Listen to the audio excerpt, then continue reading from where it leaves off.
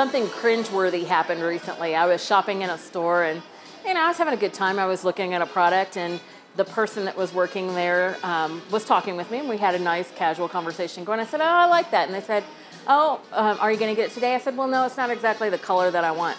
And they said, "Well, I'm sure you can find it online." And I kind of went, "Oh." How much I want to cringe for the store owner because one of the things that we don't want to do, even though we want to be accommodating for the products that we can't get for them in store, is we don't want to ever encourage to the person that's shopping today and wants to spend money today and wants to buy something today in our store that they go shop online or that they go shop someplace else. And so that's one of those things that I think um, continual education with our associates in our store can help with. Of course, we want to be accommodating. Of course, we want to say, well, let's take a look and see if we have that in any other colors here in the store or what other features do you really like about that product and see if some other product that is here in the store will work before we jump to that next step which is to go shop someplace else or buy it online.